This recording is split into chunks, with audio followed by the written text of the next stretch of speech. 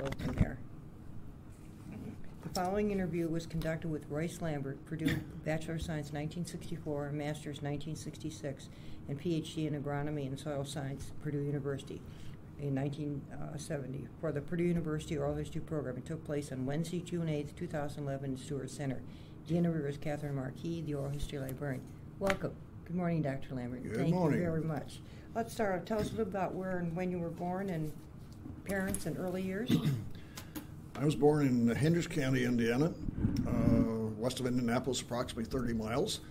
The uh, parentage there was my dad actually had bought the farm from his mother, uh, and that farm had been in the family for at least 40 years or more, and a relatively small farm, about uh, 100 acres or thereabouts. Uh, so we had a was a farm which a lot of hills and valleys and things like that. We had horses early on. My dad had one of the first tractors in the area. The uh, I probably was driving the team of horses who planted the last field of corn in that area by horse-drawn vehicle. Shortly, we converted that to a tractor pull planter, and from there on, it was corn was put in the ground by a planter. My dad sometimes rented additional land from neighbors nearby, most typically very small farms, uh, nothing in the so called lake country, which had a lot of flat farm. But uh, we survived and had a, a, good set of parents. I have a brother who is a couple of three years younger than me, a sister that's five years younger than me, and they, he became a minister. Uh, my sister became a teacher, um, and they are now in Colorado and uh, near Atlanta, Georgia, respectively. Okay. the uh, Tell us about grade school. What was school like? my grade school was Amo High School, grade school and high school. Okay. Uh, I was born in the 1930s, and so there was not that many kids born in that area at that time because of the, the hardships and things they had to go through. I attended the Amo, school system for all 12 years. Myself and one other fellow were the only students who went the full 12 years at Amo High School. The upshot was, by the time I graduated, there was 10 in my class. A few dropped out, and a few were pregnant and other things. so we uh, ended up with 10 in the class, and I was actually selected as the president of the senior class. Uh, I actually came back this trip for my 60th high school alumni uh, meeting, and uh, there was uh, four of the girl, four of the five girls left, and one other fellow and myself, the, the five fellows left. So I always jokingly said it was difficult to stay in the top 10% of my class because there was only 10 of us, and I never studied in grade school or high school very much. So, anyways, uh, what were some of the activities? What was school like? Was it very? Lo- it must not have been very long. we didn't even have kindergarten. I started first grade at five years of old age, and my birthday came in November, so I was in school uh, at a fairly early age. And uh, my first teacher was a Mrs. Brown, and she was my second grade teacher, etc. I had another uh, single lady who was my third and fourth grade teacher. By the time I got to high school, she got more training and she became my math teacher. And, uh, and uh, unfortunately, uh, AMO was such a small school at that time. Uh, the training program was not very good. It was okay, but it just wasn't deep enough to really get me Sure. into Purdue and do Did well. they have any clubs or what about athletics? Anything? no like that? clubs. We had athletics, Okay. but it was a small enough school. We did not have a football team. We had a softball team, a track team, and basketball. And girls had to, well, we all had to participate in Sure. PE, that type of thing, but there was no girls basketball or anything like Right. that. So I participated a little bit in the track team and the basketball team and thought I was pretty good, but I found later that I was not that good and it was all in my head for the most part. so I understood why the coach didn't play me a whole lot later in life. Uh, however, It was for experience and enjoyment. and experience. Yes, Right. right. So uh, but we had basically had no clubs in the school that I can recall, other than something like 4-H, or we didn't have FFA at that time. Hmm. So we had 4-H, and I participated in some of those type of things. Sure. Uh, showed hogs primarily, uh, cattle once or twice at the county fair, and uh, Willis Parker, my neighbor down the extreme, uh, became a veterinarian, and he uh, and, and my brother and I went to Indianapolis State Fair and literally stayed with the hogs or cattle, whatever we had in the in the farm buildings or the fairground buildings, uh, and uh, slept on the hay or straw and and Took took, care of took the care of the animals. Right, then yeah. we would show them later in the day. so uh, we actually had to help with the farming activities, and uh, it was just expected, I guess. Our father never yelled at us. He just said, "We're going to do this today," and we went out and did it. Right. Um, so uh, we It was a busy years during high we grew mostly corn and wheat and oats, hay. Uh, those were harvested and primarily fed the cattle on the farm. The corn was fed to hogs directly. Uh, never sold freight, never sold corn to the market per se. and all the hay was utilized on the farm. And of course, when you utilize all the hay, there's a lot of manure. So we got to clean out the sheds and things like that with a pitchfork, and did have a spreader, but Yeah. just that type of thing. Let me like- ask you this: What was you said your father had one of the first tractors? What was it like? It was an Allis-Chalmers tractor. Okay. Uh, he Was actually, the first one in the county? Or the, do you I'm remember? not sure of that, Okay. uh, but uh, his One of the early ones. early ones, his brother Arthur Lambert uh, bought or either owned or helped run an Allis-Chalmers dealership out of Clayton, Indiana. Uh, Dad somehow got enough money together to buy this first tractor he had, and I believe it was actually a steel wheel tractor. And he was out in the garage shop combination one morning with a lantern, getting a tractor filled up. The gasoline got on fire, it burned the tractor down to the ground. Literally. the paint was it was so hot a fire it actually burned the paint on the back of the house. It never caught fire, but it was blistered even when I was a teenager. It was still blistered paint on the house. Wow. So- He- was he injured at all? No, he had, had time to Get away. jump in his car and run the old car out of the shop, but the tractor burned down the heap. Oh, well, my. somehow he got enough money together and he bought another tractor, which was one of the early rubber tired tractors in Henry County, at least in our area, and it was an Allis-Chalmers. Well, I was uh, born in 1933. Uh, I learned to drive that tractor at probably less than 10 years old. And, uh, uh, it, was, it was difficult to steer. Uh, we jokingly called it Armstrong steering because that was your own arms that did the steering. And no, no power steering at all whatsoever. Uh, so we had that tractor for through World War II, actually. And uh, after World War II, we bought a newer Allis-Chalmers, and and then later I bought an Allis-Chalmers when I was married, uh, about age 19 or 20, and uh, that became my pride and joy of a brand new tractor. Right. What was it dur- uh, like during the war, in the war in your community? Uh, or everybody was. did your father continue to farm? Yes, he was never drafted. He Okay. had to continue the farm, or did, and uh, uh, several people were drafted to go to World War II, and some went to Pacific, some went to Europe, and maybe even Africa. I, I just don't Sure, know. I was still young enough, and I Right. Yeah. but I flat out recall this condition when Japanese bombed Pearl Harbor. Uh, we were in the middle of the country, of course, and we were sort of paranoid and didn't know. And you had a battery, or literally had a battery radio, which had to charge up every night. Uh, but uh, one night I woke up in the room we were sleeping in, and I saw lights off to the west about a half a mile.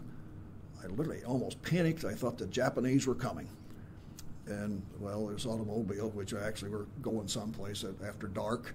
but as a young kid, seven years old, I thought the Japanese had already gotten to Indiana and uh, from Pacific. Interesting. Interesting. Well, and so after, tell us what uh, after high school. Then what came next? You came to Uh, college. I, I first of all I was going to go to an engineering type school. It was LeTourneau Tech in Texas.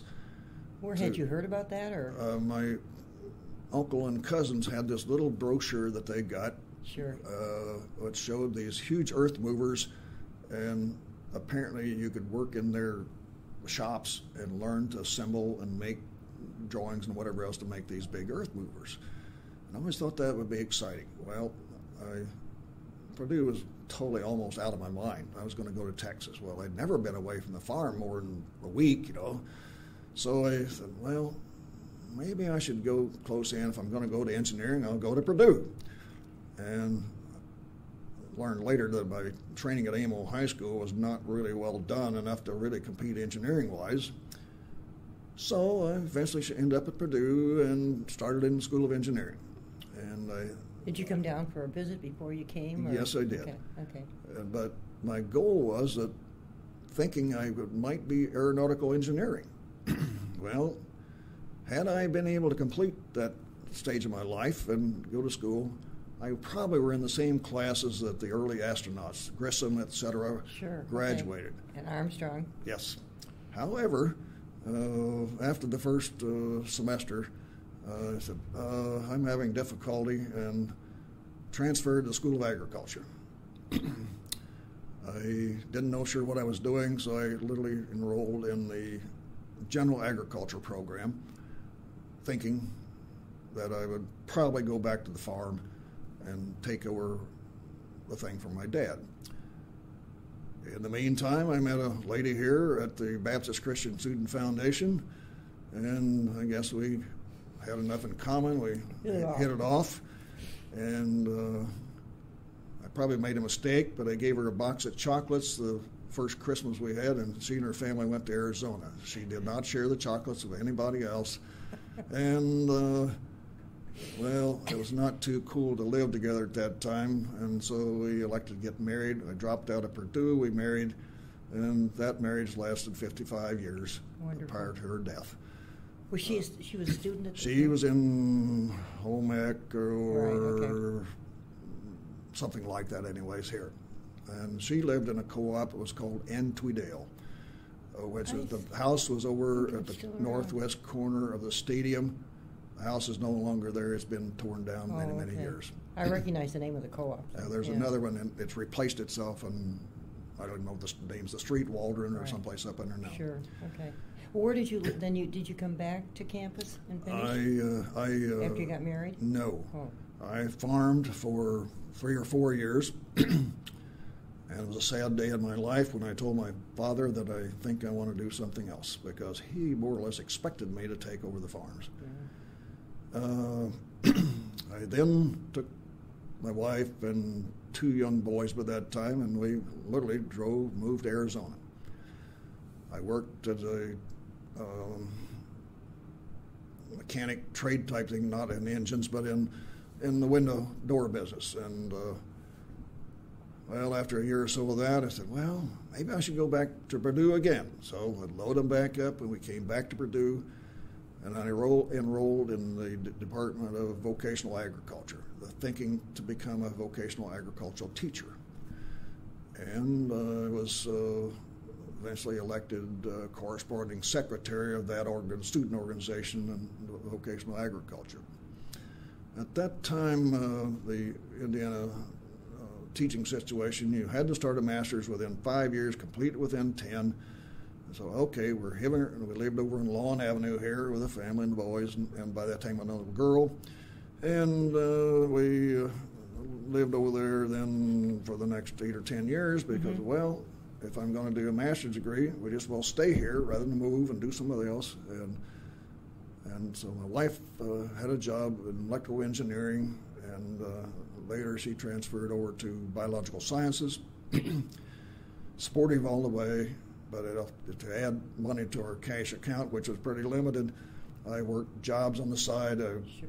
washed windows. I mowed lawns. Uh, several Right. types of things to add cash. Where were, you, where, where most of your classes were they in what's now known as Pfendler Hall and Entomology Hall, or I had an early Was class Lilly- in Lilly- Was. Lilly built when you were here? Lilly, Lilly Hall. Yes. Oh, okay. I believe so. All right. I think it came in the '60s. Yeah, I think so. Well, when it- we started, it was Yeah. 51, 52. I cannot remember. Yeah. Okay. I think it was up then. Anyways, uh, I did have classes, and I just told my friend this morning. I remember judging animals in this old I Heard that used to be a facility for it on campus. for a yeah. judging campus. Sure. Right. Exactly. Anyways, uh, I was not a very good animal judge and looks of the things, and so that was when we decided to leave and get married and go away. After being out eight or nine years, and we're in Arizona. So let's go back to Purdue, see if we can get this degree in vocational agriculture and principally teach in high school. Sure. Um, they, uh, on the way back, we basically had an old box trailer with our total possessions and three kids, and uh, anyways, uh, started restarted again.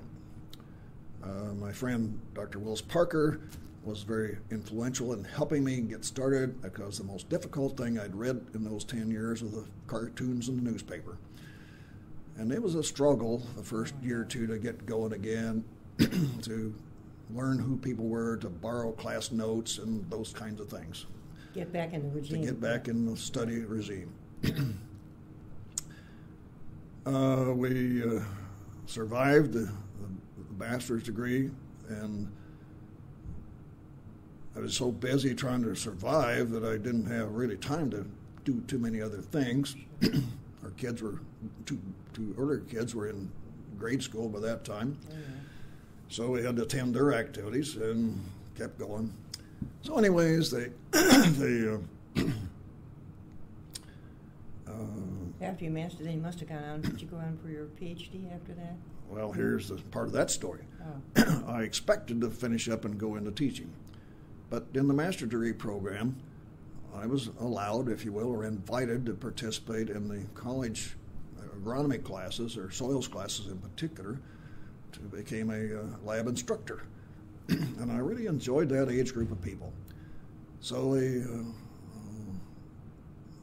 uh, have a, another experience with that. I was teaching a class, and I was standing with my back to the students who were sitting on the first row of bench, uh, lab benches. One of those students apparently had a seizure and was falling over, and the students kind of got my attention. I had no training in dealing with that kind of a thing. I sent the student out in the hallway to recover. Well, he did, but I thought many years later, how could I be so dumb that I didn't even Never get help and leave the other like that. 15 students sitting there? yeah. But it was an experience. Okay, there's some things Fortunately, it worked out okay. worked out okay. Anyways, uh, he recovered and got back into class, but just never expected that kind of thing. Hands-on learning. There you go. okay. So uh, while I was in the actually my first year or two here, I played on the Cary. Well, I lived in Cary Hall East, and played on the volleyball team. we won every game that year until we went to the final tournament. We got beaten severely in the very first game. Everything we did was an error. well, went back to being a student again. so. Got disenchanted because we lost, right? Yes. Okay. So, anyways, my my early professors here were, uh, I think his name was Ed, but we called him EE, Dr. Clannon, and he was ag education, and Dr. Klaus. I've totally forgotten his first name. Uh, Jim, I believe it was. so, anyways, I went through the vocational agriculture program, and uh, again, as I said earlier, I had to get the master's started, so we started that. I elected not to continue in, in uh, ag education, but shifted over to agronomy. I knew I didn't want to go in animal science because I took too much continuous work, cleaning, scooping, and looking after. So I thought, well, I'll go into crops or soils. And so that's kind of where I ended up over there. but in order to earn money, I worked in the uh, small animal unit in the animal science department most of the next two or three years after we started the master's program, washing down hog pens and cleaning up after things and keeping the rats and mice fed and all that kind of good stuff in the animal science department. I had a good friend who I literally met during that time frame, and uh, he was in southern Indiana, forgotten where. Uh, he was in animal science and eventually got his PhD there. He was a student at the same He time was you a were? student, not an undergraduate, but a graduate student. Okay. Tom McDonald. He went to work for a, uh, um, let me call it a feed company in Iowa, and literally died of a massive heart attack really early in his career. so we don't know about that, but it happens. So, anyways, uh, when I came uh, after that time frame, uh, and in the agronomy department, I met Dr. Jim Ulrichs. Uh, Dr. Bill McFee just came on the faculty at that time. Uh, Dr. Rudy Hiltz was on the crop science end of the thing. He was a great teacher. My professor was Dan Wiersma, who was in soil and water conservation, which is really where I wanted to come end up. So I was assigned where he took me on as a grad student and was very helpful, very good Christian man, and uh, he had been trained at Berkeley, and uh, left me to really scratch, if you will, to because he was not good at helping me. So I had to think through what I was doing and work through systems like that. And I didn't want to blame him, but this is his approach to being professor. Anyways, uh, I learned well if I ever got to that kind of position, I would be more willing to help the student think through things and get things planned out. But it's a learning process.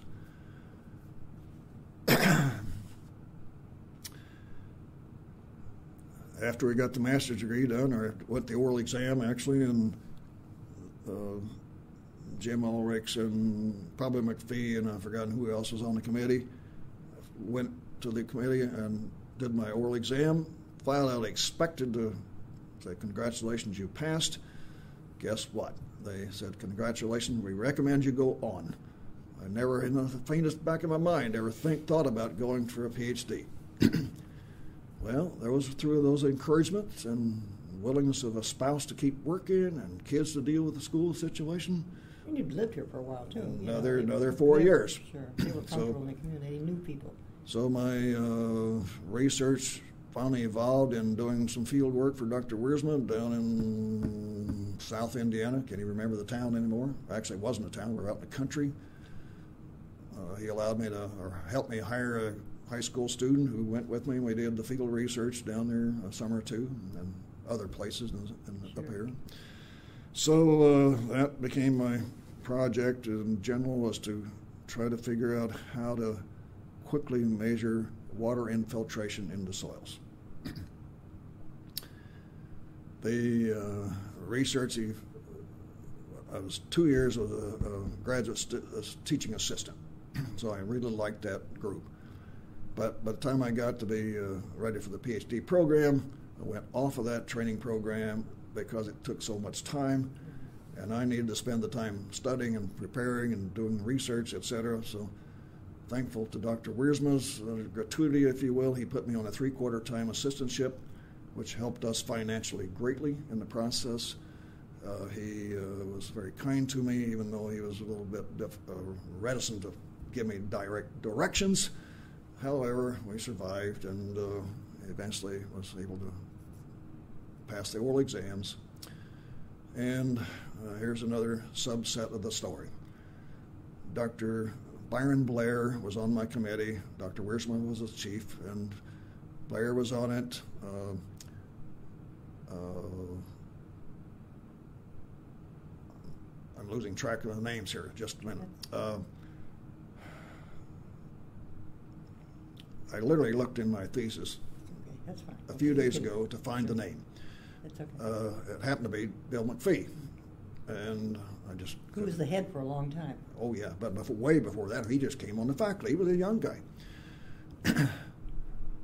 well, here's where I want to go with that story. Was that uh, I was in Dr. Uh, Dr. Blair's class. It was an ecology type class, and he had done some research. At that time, computers were huge machines occupying a whole room, and they had a card file that you fed to the computer. And one of his questions came on the written exam of, from him that how would you explain to somebody you were dealing with about this particular research? I flat out did not understand what he was doing, and I gritted my teeth and literally wrote back to that question. If you didn't understand it any better than I did, you couldn't communicate it to somebody else. Uh, oh, I thought it was literally going to hit the fan when he came for the oral exam, and I was about shaking my boots.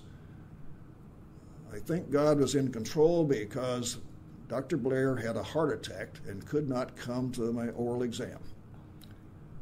So uh, Dr. Burns substituted for him in the oral exam, and I had a class in forest soils under Dr. Burns over in the forestry area. Very nice fellow. He treated me well. And uh, to this day, I never understood how he could teach that class because of myself as a grad student and one other undergraduate. And he would come talk to us daily Just for two people. Uh, he must have been bootlegging his teaching career someplace because to date that would not happen. so, anyway, whatever. uh, his, his uh, So one-on-one. is one on one almost. And he had a small lab, which we did some things, and it's kind of related to soil physics and those kind of things. But, anyways, he came to the oral exam. His very first question was, Well, you're going for a doctor of philosophy.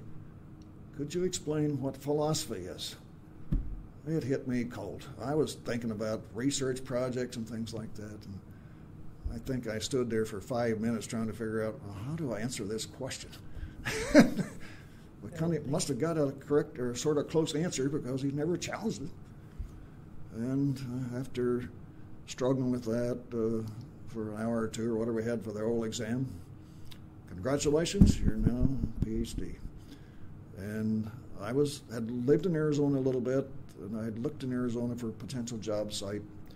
Didn't happen, and I had an opportunity then to uh, interview the dean of agriculture from Cal Poly State University, State College at that time, and he met me in Chicago. And the very next day, I met with a similar person from the um, Cal Poly Pomona. Was interviewed, and the people at San Luis Obispo uh, offered me a job. Uh, I heard later that I was one of about 75 applicants for that job. Uh, they picked me out of the lineup probably because of my agricultural background. Uh, actually, hands on learning of being a farm kid. And uh, uh, so I joined that faculty. At that time, I think I was the sixth person. Uh, within five years, a couple of the guys had retired, including the department head, which was hired. Uh, and that department grew dramatically in the next five to ten years. We had up, I think, 10 or 11 faculty, plus some teaching assistants. And I went there principally because of the climate as well as the school, its uh, training program, hands on type training. Uh, and at that time, basically no research was required. You, It was all teaching? well, that's all straight, almost straight teaching. Okay. We picked up a new president at the university about that same time, and then he started encouraging people to do research to help supplement your learning. Uh, I, I did a little bit, but not much. And uh, of course, I re- taught 25 years. Uh, my research approach was to spend the summers, early summers, working for the National Park Service and the Na- uh, National Forest Service. So I would go to these various places with various assignments and uh, come back and share photographs and what I'd learned out in those assignments instead of, quote, doing research. So I had a fairly extensive uh, uh, series of photographs which would could be applied to lectures and things, and, Sure. and the things I learned I could share with students uh, in the next 10 or more years. Right. How was the student body? Did that increase when, when you came there? Was it smaller? And do they have undergraduate and graduate program there? That stage, no graduates at all. Okay, Uh, when you, when you first went there? No. Okay. all undergraduates, and and in the next few years, that school, or college, would, was converted to a university system, Okay. not University of California, but as a subunit, subunit, and there was 19. I think there's now maybe 20, which are now California state universities, and they're different than the California University of California Correct. most of the agricultural research was done at uh, either Berkeley or uh, University of California, Davis. Uh, Cal Poly was outstanding in their still learn by doing approach, hands-on education. Uh, by the time I was had been there maybe 20 years, the department had grown to 150 students in soil science. Uh, and then it slowly evolved over into environmental science for uh, land degradation things. Sure. Uh, roughly half the students by that time were in that area, and the other half were into agricultural production Sure. type things. And uh, the school at that time was, I believe, the fifth largest undergraduate school in the states. But here, you hear Purdue, you hear Illinois, uh, Wisconsin, Michigan State, et cetera, Sure. but hardly ever hear about Cal Poly. But they have done very well. The students do well. About 10% of the students that came from Cal Poly would go on to graduate school, including some here at Purdue. Uh, at least uh, one of my students uh, came here for a master's degree, continued to his PhD. He went to the University of Arkansas for several years, and he was invited to come back here and be the department head of agronomy, Craig Beyrouty. And Craig was here a few years, and then in the past two years, he was invited to become the Dean of Agriculture at uh, Colorado State. Mhm. I have a former student who also became the uh, crop science department chair at Cal Poly. And she was there for a few years, and then she went to Chico State and became the department head of the School of Agriculture. Well, not department, but head of the school, you know, the dean, dean type thing. Yeah. So our students had the ability, uh, they were well trained, and in many cases, the cl- upper division classes in uh, Cal Poly's soil science department were equivalent to what most students would be taking for the master's degree program. So they could walk into Purdue or other schools and did very well. Right. They were all sort of pre-trained, if you will, maybe not to ex- so deep a subject matter, but they were, they did well. What about, did you have people in the, the community college system that also transferred? Some, yes, Some but okay. not many. Because you have a lot, that, California's always had a big community college. Yeah. Program. But we didn't have many that came into soil science. Okay. Most of them were, you know, what are in the uh, other types of sciences or arts. Arts, right.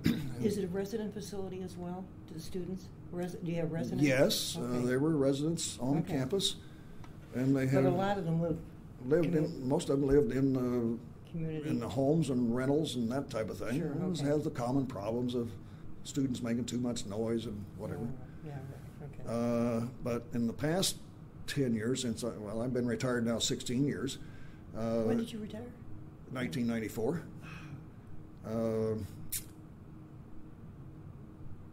two or three things happened. Uh, my father died uh, in that actually same year, and he was in Florida, so I had to kind of go help with family members there. My mother was not in good health. Uh, I had a student who kind of got to me, uh, one of those individuals that, do I have to learn this? I said, no, you don't have to learn anything. Why are you here? And but he kept bugging me, and I just got tired of it. And I said, maybe I'm one of those old guys that I don't want to be like. Maybe it's time to Do say goodbye and do something else. Sure, okay. So I retired, Uh-huh. and uh, I went back the first year and did a lot of uh, cleanup of things, uh, uh, cleaning up the bottles that were stashed all over the place, and and replaced the glass in the greenhouse and those kind of things, free of charge, just something to do. Help them get something. We did not have a technician at that time. Right. After I left, they got a technician that took care of all that kind of stuff. Yeah, so. right, okay. What about, uh, we talk about family, you mentioned you have a couple children, did they go to school out there as well? Uh, my older son, uh, who's now 57, actually came back to Purdue the first year. And he was either homesick or whatever, and he came back to California and eventually had a, uh, got a degree in uh, city and regional planning in, from Cal Poly in the architecture department. Uh-huh, Uh, unfortunately, in the past five years, uh, he has developed uh, dementia and is probably going to have to deal with Alzheimer's at a relatively young age. Is he still able to work at all? no, he's been uh, Oh, okay. uh, on an early retirement type program for two to Or three something? years. Uh-huh, Yeah. Okay, So, anyways, uh, he and his wife uh, had two adopted boys, and uh, they are now roughly 20 years old. Sure. And uh, then my second son uh, went to junior college out there in California. Then he went to Colorado, at Gunnison, Colorado, Colorado Western, I believe it was. And he was able to get a degree. Well, so back up, he did get a degree, but he was a, a magna cum laude in history. So he learned a lot about history and was a good student. And he went there actually on an athletic scholarship, but he was on the basketball team. Uh, he went to Penn State, and his dad was very aggravated when he said he was not going to finish his PhD. He was within about six months of finishing. He said, I've seen what it does to professors who have to publish. He said, I don't want to do that. So he eventually became a coach and coached Penn State women's team, assistant coach. He did that at Oregon State, and eventually ended up in Germany coaching pro teams there. And he did that about six years. In basketball? In basketball. Okay, all right. Uh, he literally was basically fired because the manager wanted to coach more than let the coach do it. So he uh, was riding a train one day and he said, I have an idea. There's no good central source of information for basketball coaches. So he developed over the next 10 years a website which called Basketball Highway. And he promoted that and was doing very well with it, earned a little money off of it. No, not wealthy, but he got it going. He had the website name. He decided to expand. He needed a little more in money. And unfortunately, one of those people he brought on board or agreed to work with basically took him what we'd call to the cleaners, just wiped out his resources and everything else. He was able to re- retain the domain name, still Basketball Highway, and he is to this day still trying to get that up and going again after 10 years early work to get it going. So that's what happens when you have Those things happen. bad relationships, I guess. I have a daughter who's now about 50 years old. Uh, she married relatively early, had a couple of kids, uh, went to uh, Chico State College one year, and it was known as the party school. And I don't never did see her grade report, but I know it wasn't good. And she then elected to go into uh,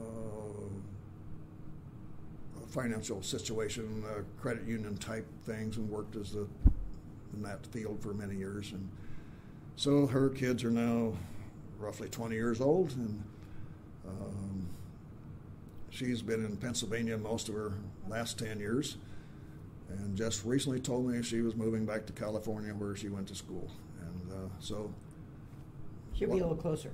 a little closer there, right. Yeah. Any uh, awards and honors, that, any awards that you got you'd like to share with us? Uh, yes, Okay. I uh, when I, I was in California and uh, was in, highly involved with the Soil and Water Conservation Society. Uh, my department head did not seem to encourage this very well, but I could see the handwriting on the wall. If I wanted to be recognized, I had to go out of the school itself and became highly involved with the Soil and Water Conservation Society. I was on their uh, board, I guess it was called, for several years, and eventually was appointed uh, incoming president and became president of that organization. I was uh, awarded several different awards during that time frame, and still teaching, still working with students. And I was the uh, leader, if you will, to organize two different annual meetings in which we brought in top-notch speakers, and the students did a lot of the work Sure. We're able to be there too. having some exposure, and uh, and so that eventually evolved into being awarded the Soil Water, Conservation Society's highest award, which is called the Fellow Award. Um, since that time, they now have another one, which is named after the founder of Soil Water Conserva- Soil, Soil Conservation Service. But, uh, anyways, that time is one tenth of one percent of the membership was eligible for this award. Very nice. You had to be nominated by at least 40 people. So I guess the Californians recognized what I had tried to do, and I received that award roughly 1980. And that was very humbling to realize that somebody thought enough of me and my skills to do this. To be recognized, right. and not basically no research uh, because many of those quote fellow awards, you're doing research plus teaching plus everything Varies else. with society, varies with the candidate too, I think. you Right. know, right. So, anyways, uh, that was exciting but very humbling in the process. Right. Um, Professional uh, associations, do you still keep active in any of them, or? after 40 years, I elected to drop out, Yeah. mainly because I needed resources to help a son who's struggling Yeah. financially, and it was $80 a year, and I had just kind of lost interest in the whole thing.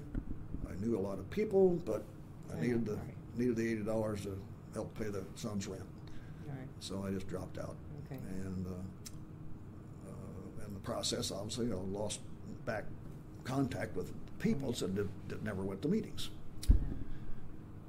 However, this will lead you to another part of the story, Good. if you've got time. Oh, yeah. Um, okay. the, uh, I was asked to go back after receiving this national honor to participate in a national meeting in Iowa. And I did and had a committee type thing, which, which I've now forgotten what we were dealing with. But, anyways, one evening we went out to a local farm to uh, a barbecue type thing, and out in the back were um, some restored agricultural equipment, tractors and threshing machines and various things. I think I would like to do that. Even though I had no experience in it, I just grew up on a farm, which everybody did. We didn't have much. You made it work. okay, I can do this. And that led to me purchasing a 1952 John Deere tractor. And it took me about a year, but I got it restored, up and running, and looked like a brand new one. The paint job was probably better than a brand new one. And uh, that evolved to buying another John Deere tractor. And I actually. Where'd you keep them, in California? Yes, I, uh. I had moved by that time and uh, had to build a shop. And I actually had six different tractors. I had three John Deeres, two Allis-Chalmers, uh, 1935 um, uh, Farmall, and by chance, I was a lucky raffle winner of a small engine built by um, uh, International Harvester McCormick Deering. So that led to another part of the story. I then started dealing with small farm engines, uh, most of them uh, hit and miss or water cooled type things Sure. with one cylinder. And, and I was involved with that club uh, and eventually became president of that club for five years. And so, organization and writing. You never know where it's going to take you. No, that's right. So I showed tractors in parades and went to shows and, uh, and eventually showed engines and other things. And so uh, it was an exciting time. And strangely enough, I had to sell off all my big tractors when I moved to Arizona. Uh, had no place to store them, but I did bring one lawn and garden tractor. And since that time, I've restored two more and uh, sold one of those, but I still have the other one. So. Sure. So those tractors are fairly unique. They were made by John Deere for lawn and garden groups. Uh, mechanically, they're just like the green and yellow ones, but they made them three years. They're now called the patio tractors. The hoods and the seat are the same colors. They had red, yellow, orange, and blue. I'm simply putting this on the tape so you can think about it. I heard last year that somebody located one of the red seats, never been used, brand new stock, and that seat sold on eBay for $2,500 for the seat alone. So it's not an inexpensive hobby. No, it's not. But here, I didn't buy it. But my rationalization is I, I tried golf, I didn't like it, and I had high scores and said, okay, here is 60 to 80 dollars a week or month for playing golf with this little piece of paper uh, that says I have a high score, and I was frustrated. Okay, so that's kind of got me hints of starting the tractor and, and engine restoration type projects, and I justify that as a way of spending the money. Right, and you got hands on And I have fun doing it Right. and meet not interesting people. Anyways, Um, how about an outstanding event? You, you can have. you know, uh, anything comes to mind? well, I guess the most sad event my wife of 65 years died three years ago. And we were partners and we enjoyed a good life together. Right. It's sad, but uh, it happens. And uh, uh, other than that, sadness, Sure. of course, I enjoy my family, my kids, we're in good relationships with each other. and the award which I received from Soil and Water Conservation was a okay. highlight. Yes. And retirement activities, now you talked about your tractors. I'm still restoring engines and no more big tractors, but engines and tractors and things. Where do you, where are you able to find some? Do you see them on, what, on the internet or? Well, you can. Okay. Sometimes eBay type things. Sure. Sometimes magazines have advertisements. Uh, uh, Yeah. Strangely enough, sometimes they come to me. I, let's say I go to a show and I have a tractor Yep. engine. And somebody comes up and taps me on the shoulder. Would you be interested in restoring such and such? And so I've gotten two or three like that. Uh, Yeah, word of mouth and things, just contacts of mouth contact site, works. that's right. and uh, they see they like my work, and I restore them to what appears to be at least near new. Do you have a little place on your, uh, at your house where you can do the repair? or- I have a two-car garage and a space for a golf cart, which now is the space for my tractors, and Sure. engines, and things. And in my community, about eighty, well, about fifty percent of the people actually go back to the Wisconsin or Michigan or someplace, uh, uh, Washington State during the summer. So it's pretty quiet. And so I can make a lot of noise and nobody cares. There's nobody there. And so I do that my works, work. That works okay. and uh, so it's a, uh, a fun That's type very thing. And, nice. and I'm involved a little bit with the church that I joined there Sure. and uh, volunteer uh, typically on Mondays to go do the uh, repairs, changing light bulbs out, putting stools in ba- restrooms and things like that uh, for an hour or two, and a meeting with interesting people. And I was going to sing in the choir, which I have done for many years, but uh, due to some problems here, I Decided to get. decided okay. to kind of bypass that. So- Okay. so I'm still Yeah. involved with the group, but most of the people I know anymore are seniors, and, and many of them are deceased, and so that's part of life. Just life. take each day.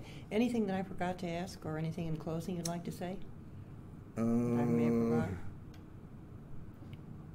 you got well, uh, other than back in the uh, professional associations, I was a California charter member of the American Society of Agronomy, established in California. Wonderful. uh, and consequently never attended their meetings, but was so involved in the soil and water conservation group that I Yeah. basically had to make some choices, and so I kind of let that one slide, but was an early member of California chapter. And I, I gather it still goes. It's still going. Oh, going. yes. Oh yeah. Right. Okay. And there's a national organization out of Wisconsin that uh, almost lost contract with them. So. Sure. Uh, anyways, that's pretty much it, I guess. So just oh, I had another story I wanted to tell. Okay. There was a gentleman who ran the farm when I was here. His name was Oz- Ozzie Luchtenmeyer. Uh, Mr. Luchtenmeyer was a very good person to help with the farm and working with the different professors. He uh, was a great friend of the grad students who sometimes used the farm for research projects. Mm-hmm. One year, Dr. Peterson apparently rented a bus for the agronomy department for faculty and students, grad students, and we went out to Kansas City, I believe it was, to agronomy meeting. On that bus was Mr. Luchtenmeyer. We called him Ozzy for short. He apparently recognized that I didn't have very much money. And on the way back, we stopped at a restaurant just as they were ready to close. We went in, and the people agreed to open up their grill again, or the dinners. And here is a rough, roughly 40 people, half grads, had faculty, and all of us had dinner at that restaurant, after hours almost, if you will. Two things happened that really impressed me. Number one, Ozzie Luchtenmeyer offered to buy my dinner. I hardly had any cash at all, and I was going to have to really tighten the belt. That, number one, has always stuck with me the willingness to help somebody else. He sensed that he liked to do it. He did that, yes. The, the other side of the coin was that when we got ready to leave, we were there an hour, I suppose, or more. He took off his hat, passed the hat to collect tip money, if you will, for the people who had stayed overtime at that restaurant. And that certainly impressed me also. Right. But I've never forgotten Ozzy's willingness to help. it's not against the professors. There was another 15 on the bus. Not one of them recognized that I had almost no money and never offered to buy anything. And so I. But somebody did, and that's nice. Somebody did, and that was Ozzie Luchtemeier. And Right. Ozzie recently just died. Yeah, I know he did. I sent his sent a note, which I found his name address. He was living out here at the retirement community. Mhm. He was in the advertisement. I sent him a note to that address. He sent me a letter back, thanking me for thanking him. And uh, well, it's kind of a chapter in my life. It was important dealing with other people. Right, and it means a lot. Yes. And you benefit. Yeah. That's really nice. Uh, the other case happened to be my major professor, uh, Dan Wiersma, in which he uh, was frugal, but he, he had university salary. His wife was a teacher. He had a couple of sons, uh, but anyways, uh, we were so borderline survival mode as a grad student. My wife was in accounting, but she had made an error in the checkbook and missed an entry. We thought we had more money than was actually in the account. So we went over to J.C. Penney's and bought the two boys a new pair of shoes each. Well, it came home because there was no money in the account. And she said, We don't have any money left. There's no bread or milk in the house. I went to Dr. Wiersma and said, Dan, I need some help. I said, We don't have any bread or milk. He says, I just got back from a research trip or something. And he pulled out a $10 traveler's check and handed it to me. And I thanked him greatly and always remembered that. And I was able to pay him back in a couple of days, but Sure. that day I needed money for bread and milk. Right. And so he was that kind of an individual, kind of under the skin, but nevertheless, He realized very and friendly he- and was able to help. And I appreciated that greatly. Nicely said. I was never a best student in the world, and I sloughed some classes and audited some classes, which would have been better had I understood what was going on. But uh, I was eventually able to attain the goal of teaching students, Right. and since I didn't really care for the high school uh, level of students or grade school, uh, I really enjoyed working with the collegiate age peoples. And for the most part, they were interested in learning. Occasionally, you had one who didn't want to, but that's the way life goes. So, in my when I retired, uh, I got out my old uh, grade books, and we never had large classes. Typically, 25 to 50 was our max class sizes in the rooms, and the laboratories were always in addition of that. And the way our system worked, the lab grade transferred over about a quarter of the entire class grade. So I have no idea how many students I had in lab, but over the 25 years, but I had a pretty close record of the uh, lecture grades I'd issued. And with the smaller classes, I had issued approximately 4,000 letter grades during that time frame. So that worked out well. Right. Uh, at Cal Poly, they had a, uh, early in the fall quarter, they'd have a thing called the WOW, Week of Welcome. And the students, incoming students would come. So my wife and I always hosted that younger group of people. And one of the very common questions, do you give a lot of A's? My response was, I don't give anything. You earn every one of them. So that's kind of where I'm at today. I enjoyed the time frame. I, I would not be a good professor anymore. I'm, Oh, I'm sure too too set in my ways, and I, I've You bring you bring what you've learned and you pass it on. I've forgotten half of what I knew in the past. I've never used it very much after retiring. So Dr. Lambert, I want to thank you very much. This has been very, very nice, and my